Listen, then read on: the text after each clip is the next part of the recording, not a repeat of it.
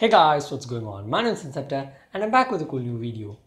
So guys, in this video, I'm going to show you how you can record good quality videos with your Sony Alpha 58 DSLR. So let's get into it. So the first thing that you have to do is you have to go to menu options on your DSLR. Then uh, you have to go uh, to the right and uh, as you go to the right you will see an option called uh, video format. So by default it will be set to AVC HD so uh, what you have to do is you have to change it to MP4 once you have changed it to MP4 you will see uh, the video uh, resolution just down below it. So uh, a new option will be there.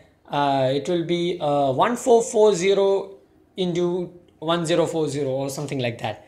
So you have to click that and that's it Uh, now you can record the best quality video with your Sony Alpha 58 so guys hope you enjoyed. Do leave a like and subscribe and peace out. See you